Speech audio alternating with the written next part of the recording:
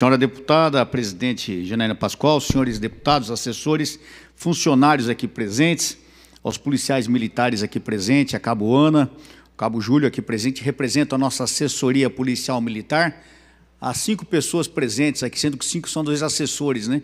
Então, a nossa, a nossa audiência está fraca hoje. Tem o Volpato lá, que é meu assessor, o sargento Volpato, e o assessor do, do, do Gil. Prazer tê-los aqui, viu? Obrigado por reforçarem a, a nossa audiência aqui.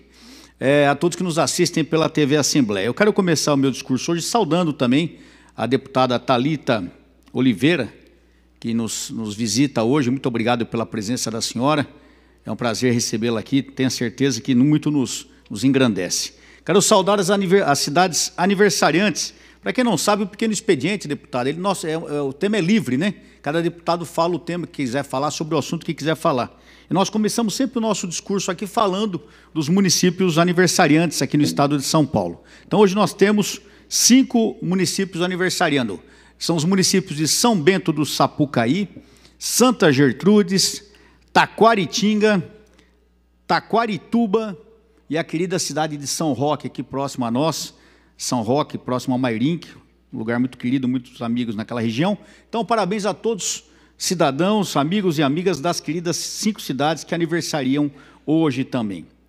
Hoje é dia 16 de agosto, talvez os mais jovens não se lembrem, mas é uma data que marcou muito em quem gosta muito de música internacional. Hoje, é, há 30 e 42 anos atrás, é exato 42 anos, morria o senhor Elvis Presley, o rei do rock.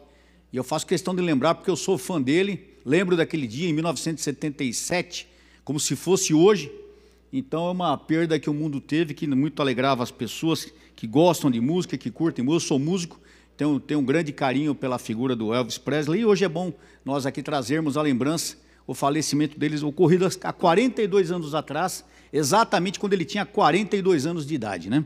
Então, infelizmente, já nos deixou há muito tempo. Também quero dar ciência à casa que ontem eu estive junto com assessores lá na Vila Nova Cachoeirinha, no evento presidido pelo nosso amigo eh, vereador Claudinho de Souza, fez um evento em homenagem aos 86 anos, né, Davi? 86 anos da Vila Nova Cachoeirinha, tivemos lá prestigiando, vários cidadãos foram homenageados. Então, um abraço à querida Zona Norte de São Paulo, hoje especificamente a Vila Nova Cachoeirinha, que ontem teve esse evento comemorando os 86 anos daquele bairro tão importante na cidade de São Paulo. Falando em segurança pública, nessa semana novamente nós tivemos a Operação Rodovia Mais Segura, onde foram empregados quase 20 mil policiais, especificamente 19.980, 8.853 viaturas, veja que número assustador de viaturas, 8.853, 11 aeronaves, foram abordadas 31.598 pessoas.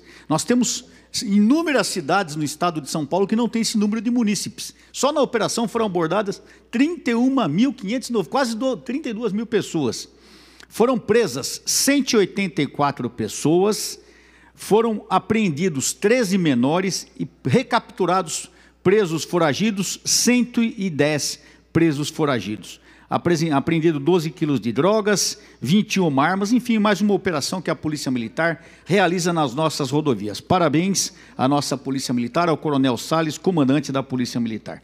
Também recebi aqui um ofício do querido amigo Eduardo Becker, presidente do Sindicato dos Peritos Criminais do Estado de São Paulo, nos agradecendo por algumas propostas que nós temos feito ao governador, ao secretário de Segurança Pública, em nome da Polícia Técnico-Científica. Todos sabem, eu tenho aqui a PEC 03-2019, inclusive os deputados aqui assinaram, salvo acho que até a deputada Janaína assinou também essa PEC, onde nós é, é, estamos aí colocando a Polícia Técnico-Científica na nossa Constituição Estadual. Para quem não sabe, a Polícia Técnico-Científica não consta na Constituição Estadual, consta a Polícia Militar e a Polícia Civil.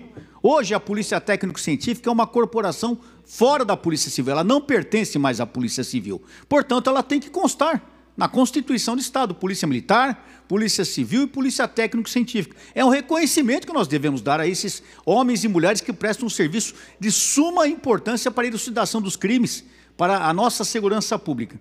E eu também fiz uma indicação ao senhor governador e ao senhor secretário de Segurança Pública, porque nós temos o secretário executivo de Polícia Militar, o secretário executivo de Polícia Civil e não temos um secretário executivo da Polícia Técnico Científica. É um absurdo.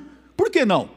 A polícia, para efeito de, de, Secretaria de Segurança Pública, a Polícia Técnico-Científica ainda está subordinada à Polícia Civil. Tanto que quem deu parecer negativo a essa indicação com, é uma pessoa que eu tenho grande respeito, o doutor Youssef Abuchain, foi o, o, secretário executivo da Polícia Civil. Isso não compete a ele. Eu até agora não entendi. Então eu quero aqui que as minhas palavras sejam encaminhadas ao senhor secretário de Segurança Pública, ao general Campos, pedindo para que reavalie a criação do cargo de secretário executivo da Polícia Técnico-Científica do Estado de São Paulo. A Polícia Técnico-Científica não é subordinada à Polícia Civil. Portanto, eles têm que ter um secretário executivo. E que tal medida não deve ser avaliada pelo doutor, o doutor Youssef. Ele não é o secretário de Segurança Pública. E a Polícia Técnico-Científica não é subordinada a ele. Então, por favor, que seja avalia, reavaliado essa situação. Só para fechar, senhora presidente, infelizmente eu não consegui o nome ainda, viu, Davi? Estou tentando levantar o nome de um policial militar que foi morto ontem em São José dos Campos, um policial militar aposentado.